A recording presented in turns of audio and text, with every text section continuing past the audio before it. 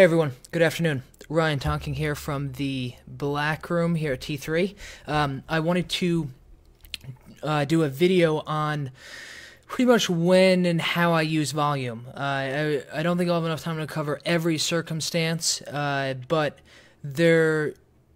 I know for me there was a lot of confusion around um, volume spikes, right, or increases in volume, um, and I wanted to give you guys my take on um, how I look at them objectively and when I use them, right? Because there's there's a lot of uh, examples where we will get a volume spike and it doesn't necessarily mean a whole lot, right? And we did get one of those spikes in the CBPX was an example I found today.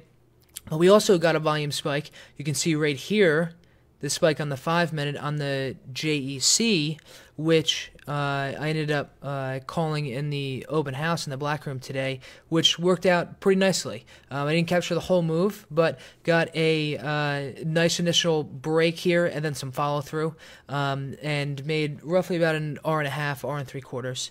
Um, and this was an example where a volume spike was very important to me.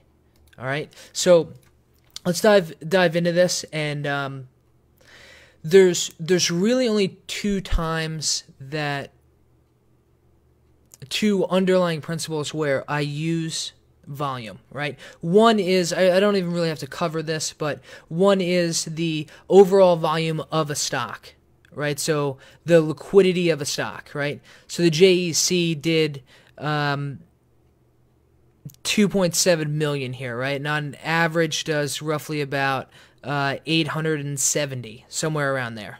Okay, so if I were to pull up a no-name stock and on average it did, you know, 3,000 shares, well, there's not going to be enough liquidity for me to get in and out of the position.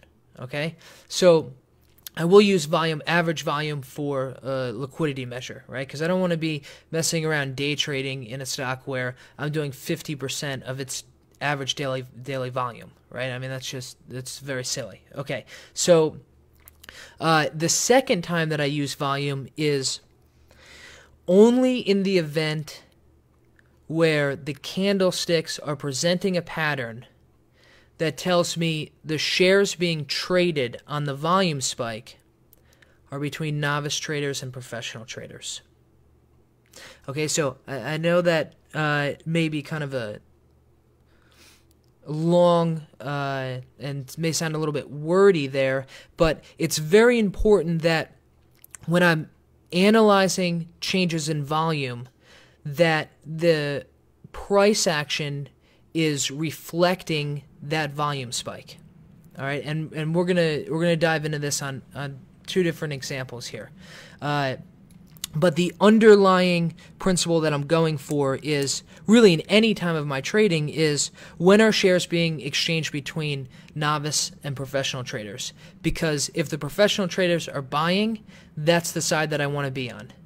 Because professional traders tend to not trade as much off of emotion and they also trade, uh, which is more sustainable, versus novice traders are making decisions uh, purely off of emotion, which isn't a sustainable move.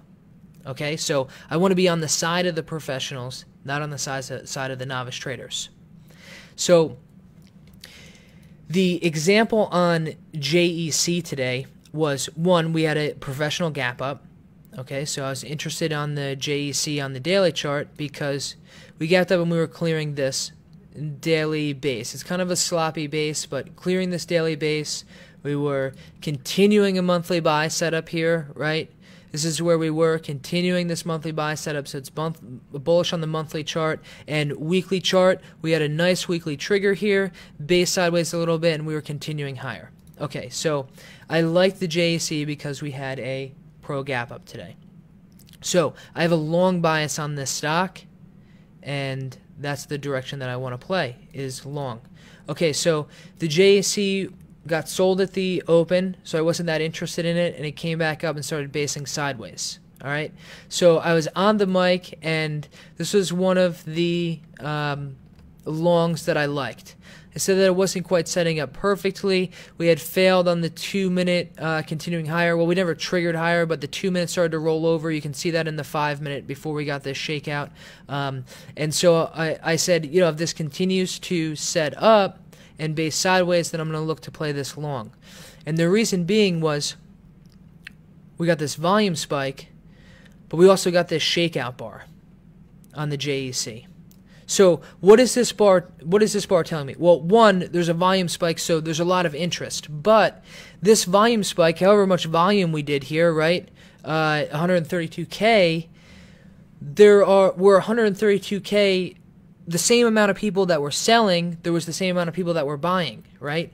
So in order for a trade to hit the tape, there has to be a buyer and a seller, or else the trade never gets presented in the candlesticks. Okay which is which is really important for me to to grasp that just because we have an increase in buy in in volume, there's just as many buyers as there are sellers. Okay? So what's important is what is the candlesticks showing when we get these volume spikes? And what we got was we got a shakeout, right? we got an aggressive move lower.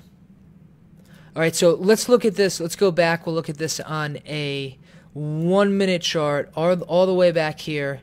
And we got this huge bottoming tail here. Okay. And I was on the mic and I was like, I was like, this happened very quickly. And so what the candlesticks are presenting to me is that one, we have this base here, right? We get sold, we rally, and we get this base. All of a sudden, we start to move lower, and then at one point, this was a big red bar on volume, and we broke underneath this base. And then we immediately got bought. Remember, I have a long bias on the JEC, right? I don't have a short bias. And so when the sellers, when when people sold here underneath this base, there were professional buyers there immediately ready to take the shares off their hands, and the stock moved right back up. Okay, so the novice sellers were selling out of this position, and the pros were right there to buy it. Now, remember, this is in context of a bullish stock, a stock that has established an uptrend, a stock that was basing at the high, high of the day here, right? And then we get this shakeout where where it shook the weak hands out of the stock. Anybody that wanted to exit under this base and they weren't willing to hold on the next move or the next move higher, they were going to look to take profits. They're out. They sold, right? And the pros stepped in and bought the JEC. And so this volume spike here was very important to me because we also had a correlation in the candlesticks that said, okay, this is a shakeout. This is a pattern that I'm familiar with. And the pattern was taken very seriously as note of the volume. The only other five minute candle that had more volume was the open. Right? So there was a correlation between the pattern on the charts and the volume spike. And that's when it becomes important to me. Okay? So where was the entry? We base sideways. We continued to base sideways. Right? Let's look at the five minute chart. Continue to base sideways. Entry was here. Let me just, I'll show you guys some pictures. Here was the initial call. Um, oh, that was the INTC that didn't trigger, so that was canceled. And then I adjust the stop to 65. So originally the stop was down here right? 45, and then I adjusted to 65. Why? Because we had a nice tight base before the breakout, moving averages caught up, and I liked this price action at the point of transition here. So I used the smaller stop. Entry was over the high of the day here. Stop was here, and okay, so that was the stop. Uh, here are the targets posted. 72.15. Target 2 was to be determined. Um, here's the trail. We trailed three quarter, one minute bar by bar at uh, 11:57. So we'll go over the exits and uh, briefly, because it's really I want to make sure this is about volume, and this was the um, trailing the last quarter, right? So all this was posted ahead of time in the open house, uh, in the black room here. Okay, so here's the entry, the breakout, the stop, um, and 72.15 was the target. What was this high? Um, 7220, right? So it got right to a target one. Why was this a target one? Uh, right here, 72.20 was this high, or 72.16 maybe? 72.18, excuse me.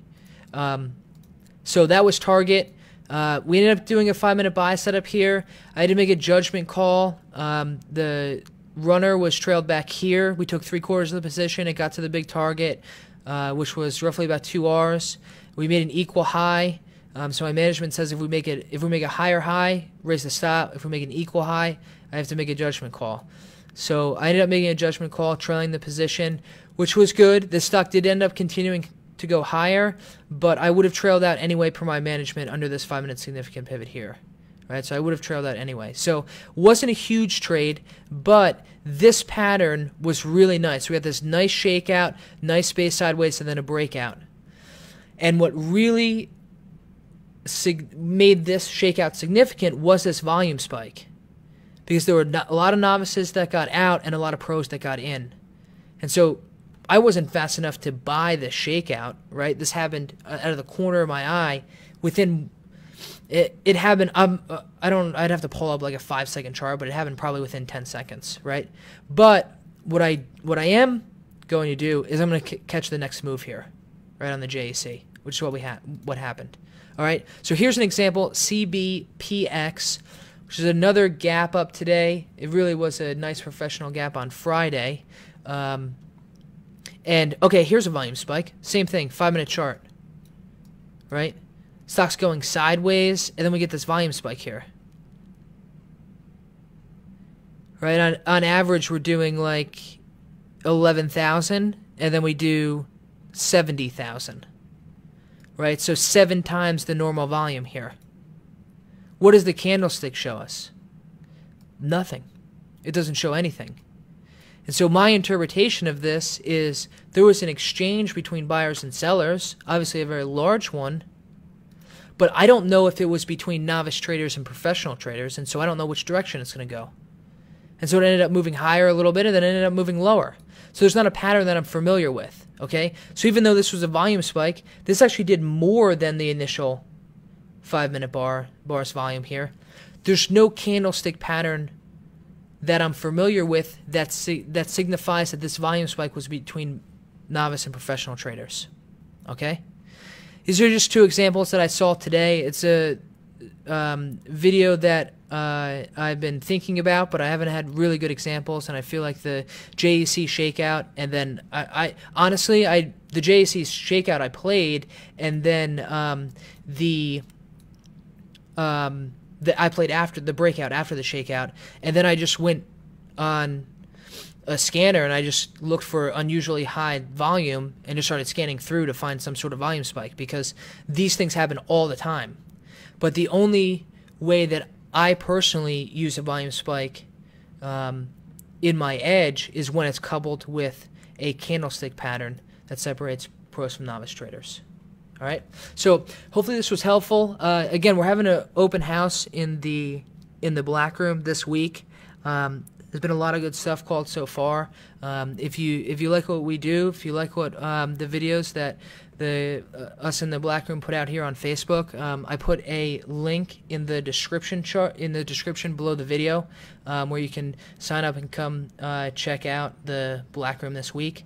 Um, so if you if you like this stuff, definitely come check it out. Right? We we love newcomers, and um, yeah, we're just just traders, and um, yeah, we love what we do. So come check us out if you're interested.